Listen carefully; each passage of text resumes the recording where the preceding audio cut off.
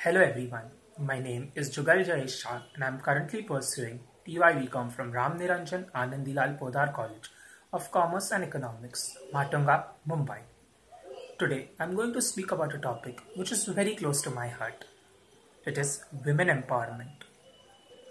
A few years ago, I saw a movie called English Vinglish. It was about a simple housewife who, who did her daily course very well, who managed her house perfectly.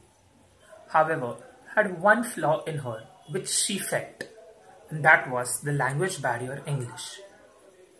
However, her sudden transformation and her perseverance and dedication to learn the language and master the language was worth appreciating.